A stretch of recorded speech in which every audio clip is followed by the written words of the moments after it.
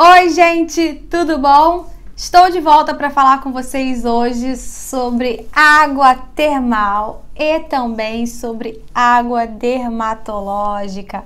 E aí, qual é a diferença? Qual você prefere, Ruama? Qual você pretende continuar usando? Vamos falar sobre isso e mais um pouco. Então fica aqui comigo. Mas antes, já deixa aqui seu like se inscreva e ative as notificações para não perder nada. E aí, o que é uma água termal, né? Vamos primeiro começar pela água termal, porque é importante saber o que é cada uma para depois entender a diferença, certo?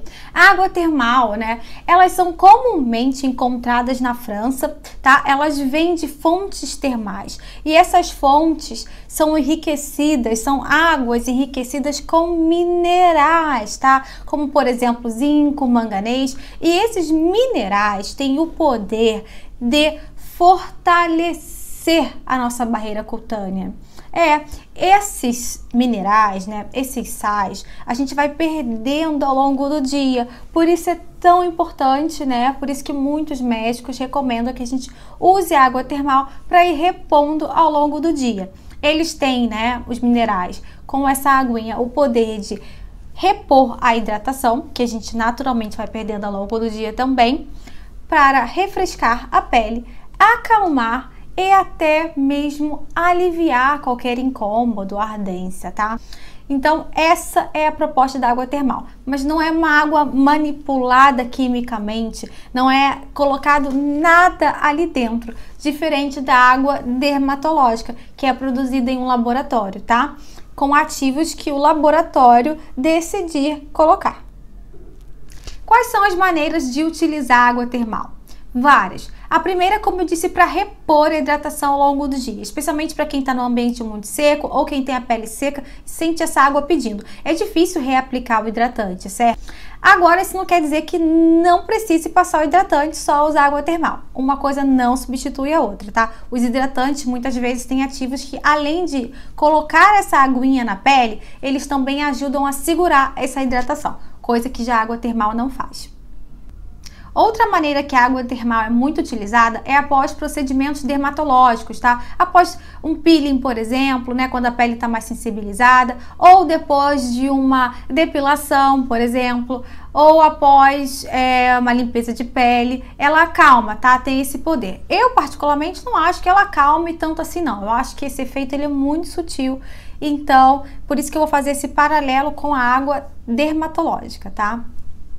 Outra forma também que a gente pode utilizar água termal é aplicar depois da maquiagem, dar uma borrifada para a maquiagem aderir, sabe? Grudar na nossa pele. E sem a ajuda de ativos químicos. Quem tem a pele muito sensível sabe que fixador de maquiagem às vezes é mais agressivo, tá? Ela também pode ser utilizada, gente, no cabelo. Sim, no cabelo. Quem vai ter dinheiro pra isso, eu não sei, né? Porque eu já tenho pena de passar na cara. Porque no cabelo. Ah, mas tu aí é rico, rica, né, minha amiga? Se joga, porque pode.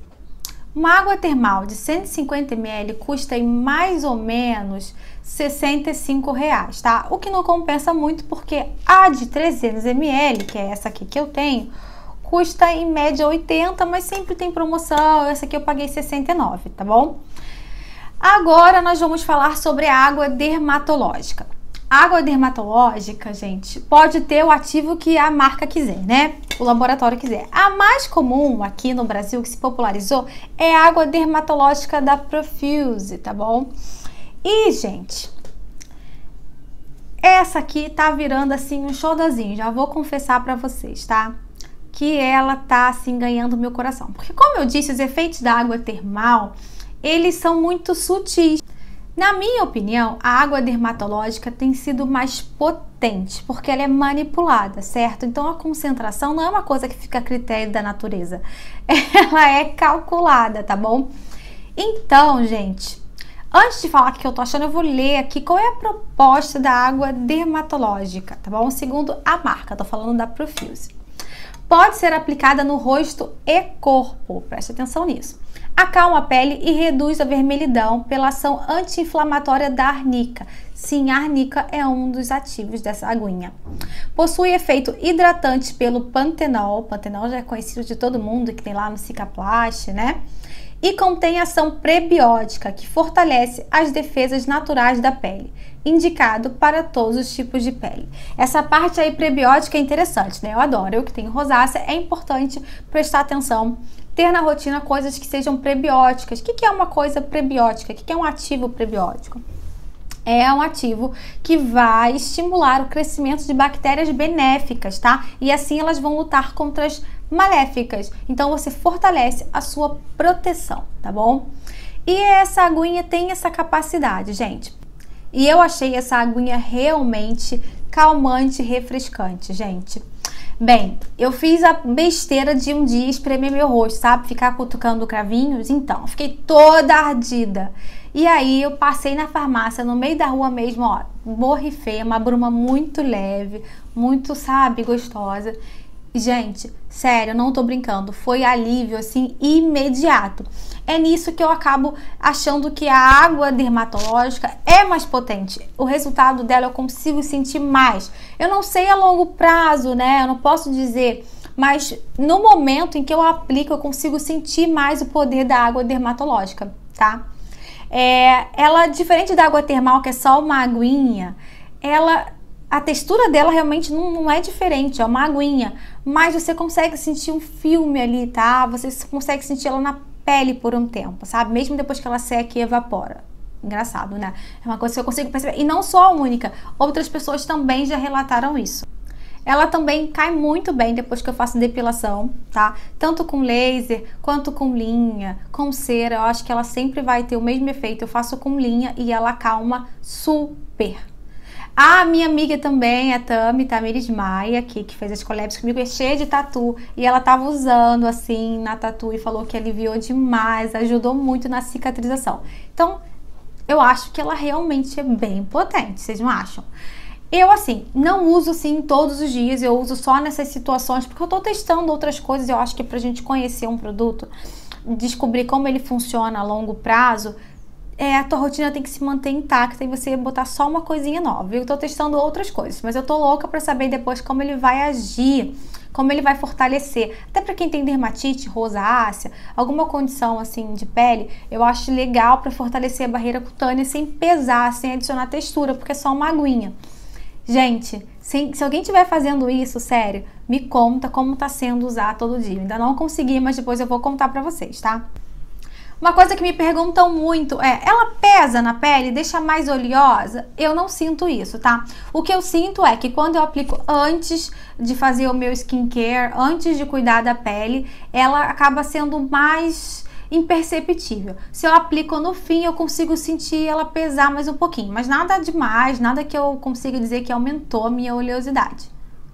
Uma queixa comum em relação a essa água é o cheiro, porque ela tem arnica, que é um ativo natural, é difícil controlar isso, tá? Realmente ela tem um cheirinho, coisa que a água termal não tem, mas a minha não veio muito acentuado esse cheiro, tá? E ele se dissipa, então o pouco cheiro que tem some. Algumas têm o um cheiro mais marcante, isso aí vai variar de água para água, não tem muito como prever.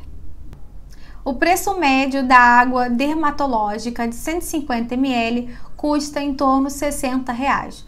Ou seja, né, o preço está mais ou menos igual ao preço da água termal, do mesmo tamanho. A diferença é que a água termal você consegue comprar pelo tamanho de 300 ml por um pouquinho a mais de diferença, tá?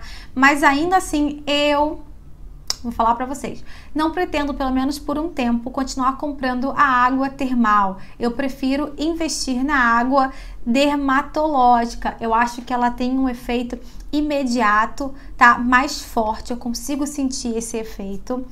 É, ela me deu um alívio ainda melhor em relação à ardência, incômodo, tá? A pele quando tá sensibilizada, ela responde muito bem para mim. E o que eu quero agora é investir só na água dermatológica quando acabar a minha termal. Eu não pretendo comprar, vou comprar por um tempo água dermatológica e vou usar todo dia na minha rotina, sabe? Então, não tô dizendo que eu nunca mais vou comprar água termal, que eu não gosto. Eu gosto sim, mas eu acho um efeito muito sutil. Honestamente, como eu tenho utilizado água termal na minha rotina hoje? Após o meu banho, porque a água do meu prédio eu acho ruim, não sei se é porque é um prédio antigo, e aí é, eu pego essa aguinha termal para ser a última água do meu rosto, tá? Até porque a pele, quando tá mais úmida, né?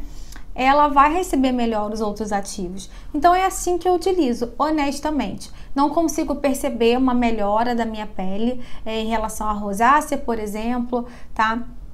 Só com o uso da água termal. Além disso, né, além da água termal não tá me trazendo um resultado muito significativo, eu acho que a água dermatológica tá sendo mais útil nesses momentos de emergência, sabe? De pele sensibilizada. Então, pretendo continuar só com água dermatológica, tá bom? E vocês, me contem, quem já tá usando uma ou outra, quem já usou as duas, o que, que vocês estão achando? Tá pesando na pele, tá ficando oleosa, tá acalmando mais, não tá? Tá usando todo dia, tá usando só de vez em quando? Quero saber tudo pra gente entender como ela funciona melhor, tá? Mas é muito importante, gente, lembrar que essa é só a minha percepção, é, é, é uma visão mais é, pessoal. E agora o que vai ser melhor para você é muito relativo. Isso você precisa conversar com a sua dermato, tá bom? Eu amei trocar essa ideia com vocês e eu espero muito que vocês tenham gostado. Comentem aqui o que vocês acharam desse vídeo e a gente se vê semana que vem. Ah, eu vou falar sobre rosácea, então ativa a notificação, gente, para vocês não perderem, tá bom? Um beijo enorme. Fiquem com Deus.